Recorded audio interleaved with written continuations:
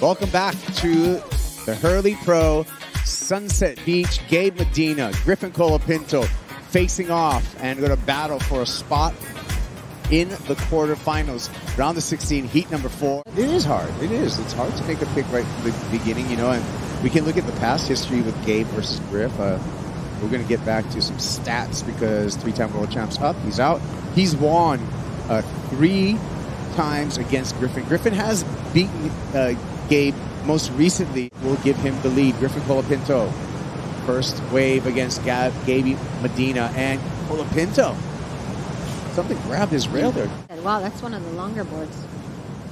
Medina mining in the barrel, and the cave collapses on the three-time world champ.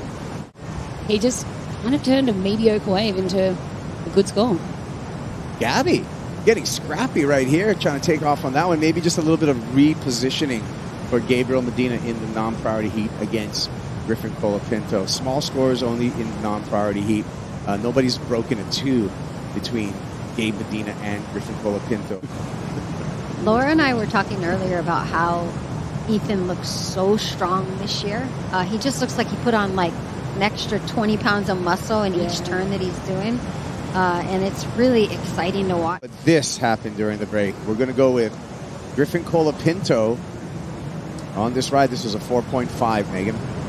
Yeah, nice first turn. Backs it up there. Utilizing uh, his priority, Gabe Medina off the bottom, hooking it off the top, Laura. Magines, one more time, but gets bounced. And it's in his uh, his bloodline. You know, I mean, his dad, great surfer out here. Griffin Colapinto. Nice layback hack, and that's all he's going to get. Just needs a 2.27 to turn the heat for the moment. Probably got that on that one turn. And then looks like this wave of Gabe's is interesting. Uh, he goes straight up into the lip, uh, and then right here just had to, doesn't have much time to get straight back into another turn, um, but navigated that really well. This is exciting, and Griffin, he is in the hot seat holding priority at the moment there's not a lot between this heat at the moment. You know, these two, as we see Griff on the offense. Colapinto eases through that first car, steeper on the inside here, aims towards the lip, attacks the lip, gets the board right underneath his feet. One more time for Griffin and plants that third turn. As we see Griff take off, nice wave here, one of the more beautiful waves we've seen of this heat.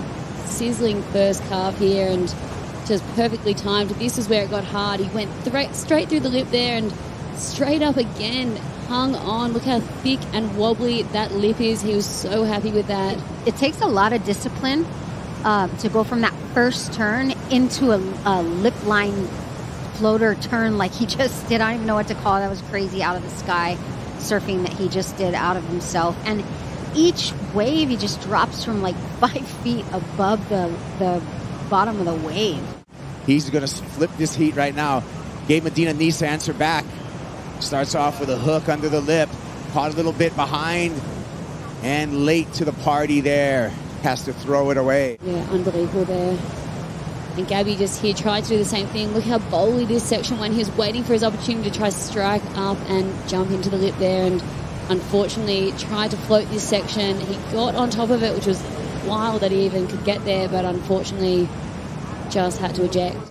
I don't really think it matters that he has a couple more inches on his board because it's allowing him to keep that rail engaged the entire time. Hunting, Gabe Medina under the priority of Griffin Colapinto, who's got maybe Medina in a little bit of, um, I wouldn't say a panic, but certainly a concern because Medina needs to get X 5.17 for that wave that we saw in the replay of Seth Moniz. Seth trailing Filipe Toledo. Gabby just easing through this, looking behind him. Um, this could be just some cat and mouse, maybe some reposition. A little too little, a little too late for Gabe Medina. Does he get to his feet? It was too late. Yeah, I think it was a second too late, right, Laura? Yeah, it was. All right. Well, it's done and dusted. Griffin Colapinto on to the quarterfinals. Gabe Medina knocked out of competition.